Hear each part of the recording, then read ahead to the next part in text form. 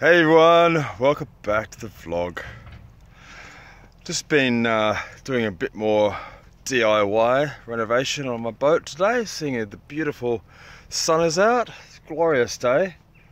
Perfect for cruising, but uh, I'm just doing a bit of DIY. um, when I renovated my boat, um, you know, my DIY skills aren't that crash hot. I mean, I've done okay in designing this sort of set of cockpit bit with the doors and all that kind of stuff. Um, as you can see, I have put in, you know, some insulation, some rigid insulation.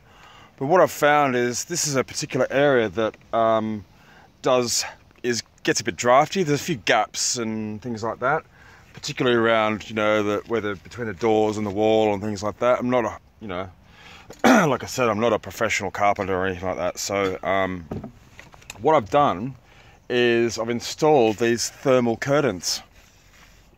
Um, and you might be thinking, oh well, how do you, how does that work when you're cruising? I said, well, all I have to do is literally just take off this and just drag this back and clip it around my little hook there, like so. And then when I've stopped cruising and I want to settle down for the night, I just put that back, clip that over the clip there. Um, and I've even cut out a little hole down there for the cat flap so the kitties can get in and out. And I've done the same on the opposite side. Over here, same again. Um, and these are thermal curtains too. So you might be surprised to learn that thermal curtains actually make an enormous difference um, into keeping heat into a, into a space. Um, and also, on the flip side, in the height of summer when it does get really hot, um, they will help keep the cabin cool.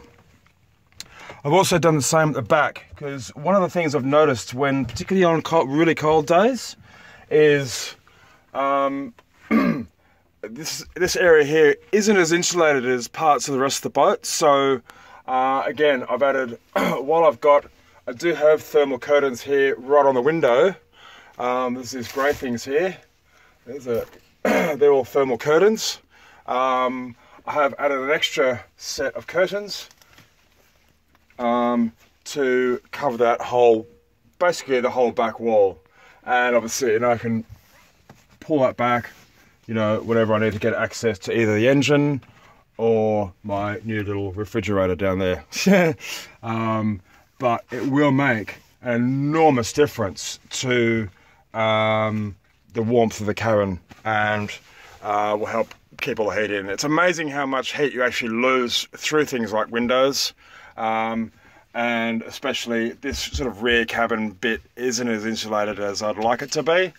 Um, I will be doing a little bit of that, a um, little bit of extra stuff on that over the next few weeks. Um, but that is an area where I've felt um, a great deal of cold coming into the boat. So the thermal curtains will help greatly. Um, so if you've got any questions on that, please think up below. Um, you can see here again, like I've put in um, these are the roughest curtains you'll ever see on the cut. Um, but I basically cut down an entire curtain to make these little curtains. And it does, it makes a huge difference. Even in summer, like I said, um, it will make an enormous difference. So again, if I've got any questions on that, please sing up below. More than happy to answer them. See you later.